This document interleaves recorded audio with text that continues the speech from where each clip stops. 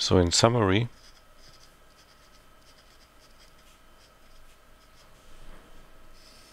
so what what we do in fixed point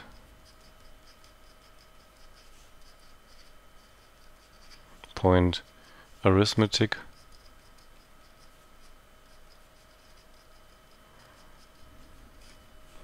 is that that we build our FIR filter just with integer values. Yeah, so the h of 0, h of 1. So they're all integer, integer, integer, and they're also integer. And the strategy is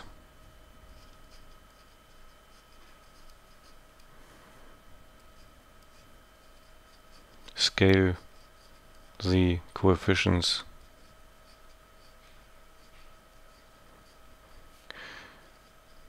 Up by a power of 2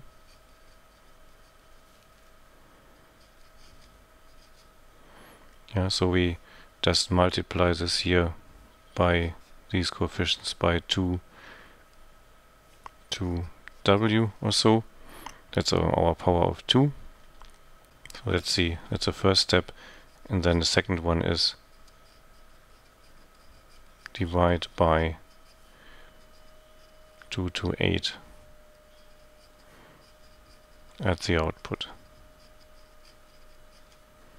Yeah, so what we're getting here out here, we just divide this here by 2 to w, and then this is our result here.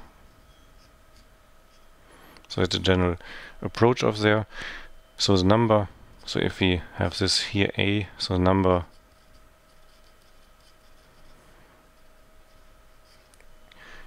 So that's three number of bits required in the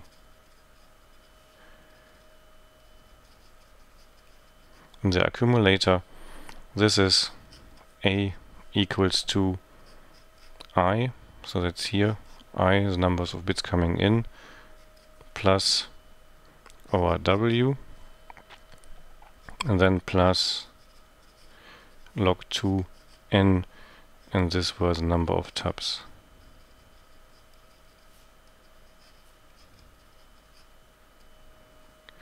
Whereas this one here can be omitted in case the overflows are temporary.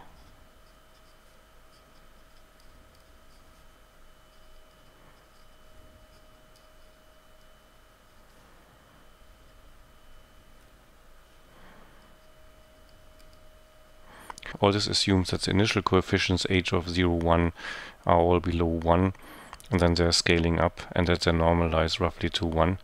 Otherwise, obviously, it also needs to be taken into account but um, I'm not going more into details of the fixed point arithmetic because the problematics have been made clear with that.